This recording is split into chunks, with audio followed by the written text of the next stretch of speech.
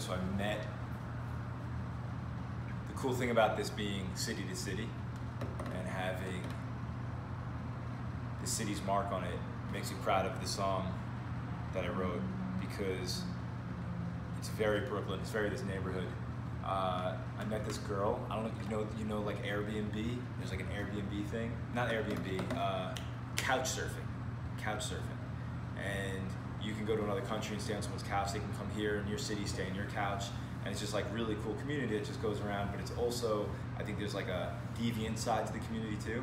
So I met this girl, and she seemed really cool. She was she was writing at a cafe, 12 chairs, this this this restaurant right down the street, Israeli restaurant, and uh, she's writing in her journal. And I just kind of like walked over just to make friends, "Hey, what's up?" And we started talking.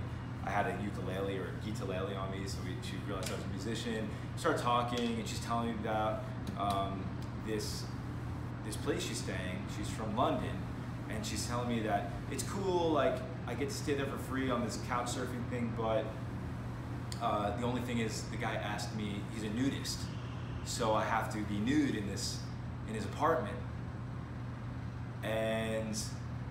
Uh, nothing like more than that. Even the reviews say like he's cool if you can get through that thing. Like it's fine. He's like totally nice guy. It's just his thing.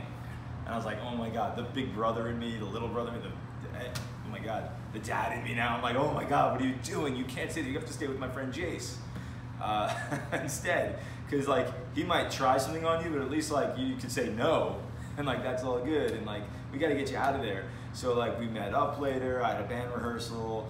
Uh, and then and then like we met up and I taught her I, I, I, taught her how to ride the subway to New York. Anyway, the song is very uh, it's very real. I don't know the last time I wrote a song that was so literal, and it's called Charlie.